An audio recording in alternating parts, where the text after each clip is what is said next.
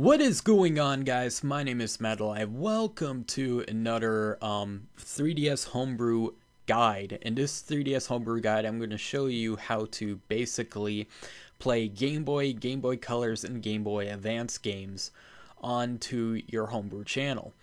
Now, basically, if you don't have the homebrew channel, um, I'll put the link in the description or the annotation right around here um, basically telling you how to get homebrew channel is very easy. You use Soundhax.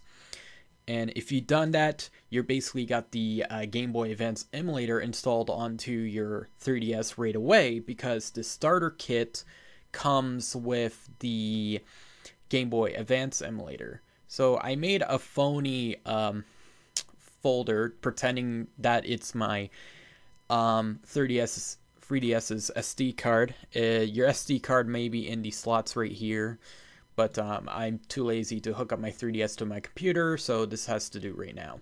So in the 3DS folder, you'll see that there's a file called MGBA. That is the emulator itself.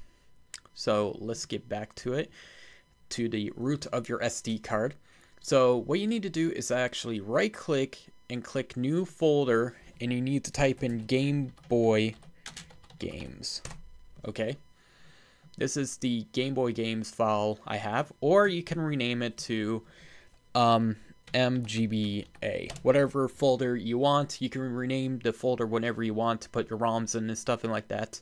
So after that, we're to put the ROM inside of the um, folder. Now, by the way, I am not going to tell you where to get these ROMs because it is highly illegal to basically play these games. Um, games that you don't own, so I'm using this as backup purposes only. So I have uh, Dragon Ball Advance Adventure, so I'm going to drag it into my SD card, and you just got your ROM right here. So um, it's easier it's easier to find ROMs online. All you have to do is look it up on Google Game Boy Advance ROMs, R O M S. There's a lot of websites that do that.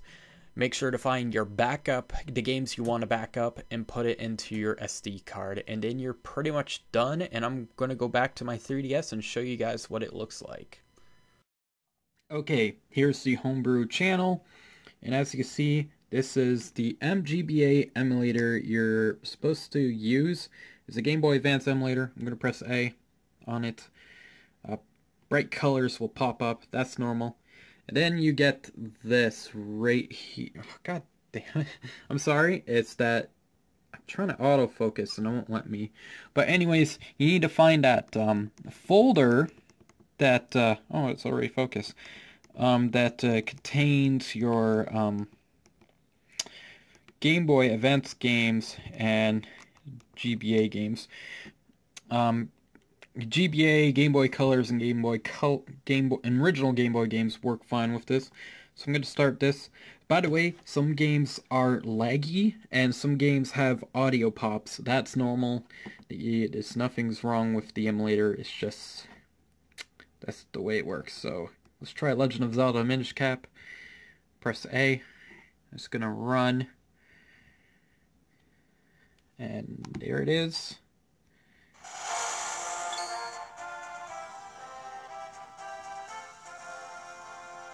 And it works perfectly fine. It shows the frame rate bottom. Now, um, you press X, and it comes up with options. You can exit game, restart game. So you could take screenshots, and you could do all this other stuff. So I'm going to unpause it right now. I'll show you if it really works. Okay, MRL stands for mattRlive. Now I'm scroll up or down. If you want to change the screen size, you press the Y button. And you can have it in the bottom, you can have it stretched out on top, like this.